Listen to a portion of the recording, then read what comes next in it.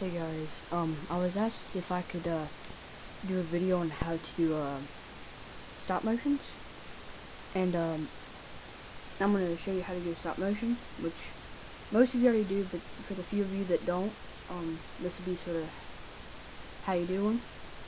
And also, if you're not, if you're just stumbling along this video, and, uh, if you're just watching it for the how to make a stop motion part, uh, that's fine too, but, uh, anyways, to get started, what I suggest doing, I'm just going to use my Oshkosh dump truck here, and sorry for the mess, I've been working on some stuff, but uh, what you want to do is just move it about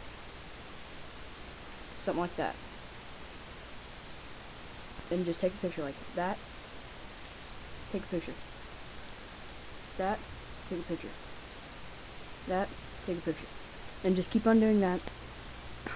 Um, what I suggest doing is one to two centimeters per like how how you move it or how far you move it each time. Um, and some of my other stop motions they weren't as good, like some of the my early stop motions, but I'm starting to get better at them. If you like look at the mini one that I just made, but um, and then what you want to do, you want to upload it to your computer. And once you get to that, um, you're going to want to go to tools. Then you're going to want to go to options. I have mine set on 2.5 seconds on picture duration. And I'll do that one last time if, for any of you guys that missed that. What you want to go and do is go to tools. Get on the options and set it for 2.5 seconds um, you can also add titles if you go to titles and credits. Right there. And you can just add that. But, um, there's a way to do it if you just drag one picture down at a time, like, click and drag. You can do that. Or, I just found a new way. What you want to want to do is just go down and highlight everything of your stop motion. Every single picture possible such as this. And this is on Windows Movie Maker, for any of you guys that have this. This is the older version. They got the newer version out now, which I'll probably be getting, so uh, what you want to want to do is hit uh, and once you selected all that see how they're all blue sorta then what you want to want to do is hit add to timeline this will add all of them to the timeline. It, it just takes a few seconds for it to... Oops, sorry. It just takes a few minutes or a few seconds for it to load all into the timeline.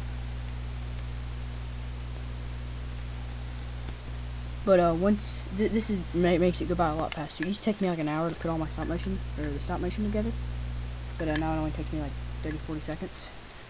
See, you got each one of them little like black things are, pic are a picture. And then once you do that you go just to see if you like it you hit play right there. But my stupid computer it's either my stupid computer or Windows Movie Maker I gotta drag it just a little bit to get it to go. Which it does look stoppy.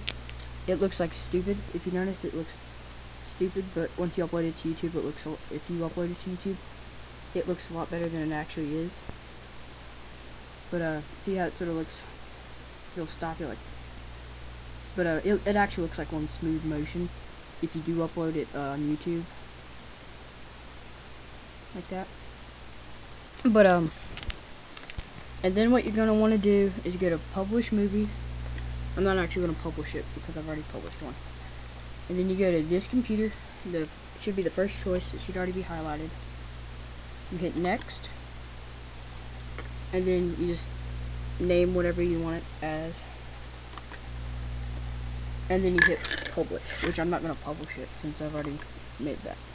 But um if you want to add music you hit audio and music. And then you go to whatever thing you got like I only got them two things but um, as I said my computer crashed and I lost all my music so I got to put all my music back on it but um, you just click that, and it'll it most for, most of the time for me it goes right up here. So if you can't find it, it'll be right up here, and you just drag it down, and it'll be way out here. Like it'll go way past your thing. It'll be like way out here, way out here about another. It'll go to however long the song is, but you just drag the little arrow. You just sort of get it, and drag it to right there, and uh, that that's how you put the um music in. But uh, there's a how how to do stop motion, guys. Uh, I guess I'll see you later.